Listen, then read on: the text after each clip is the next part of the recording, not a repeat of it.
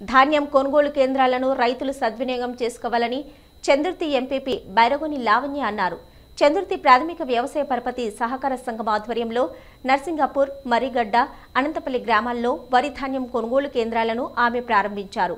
రైతులు ఆరుగాలం కష్టపడి పండించిన వరి ధాన్యాన్ని దళారులకు విక్రయించకుండా కొనుగోలు కేంద్రంకు తీసుకురావాలని ఎంపీపీ సూచించారు.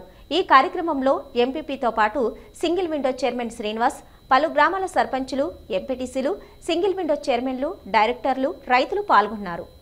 రైతులకు చెప్పేది ఏంటంటే రైతులు ఒకరినొకరు సహకరించుకుంటూ ఈ ధాన్యాన్ని విక్రయించాలి.